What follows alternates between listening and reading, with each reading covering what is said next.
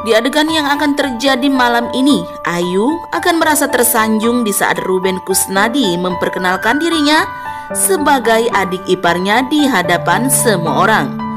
Meskipun Ayu tahu kalau dirinya hanya pura-pura menjadi istri Billy, namun hal ini membuat dirinya terasa Pak Nyonya besar, diakui sebagai keluarga Kusnadi.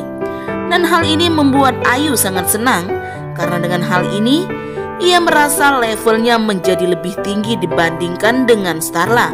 Bukan hanya itu, sekaligus Ayu ingin melihat Niko cemburu.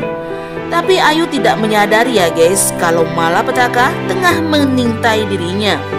Dan saat ini Ayu telah masuk ke dalam perangkap yang telah dibuat oleh Ruben dan Billy.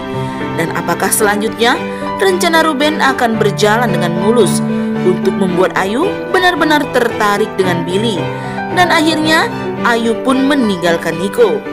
Tetap saksikan terus keseruan ceritanya di sinetron Cinta Setelah Cinta yang pastinya hanya di SCTV.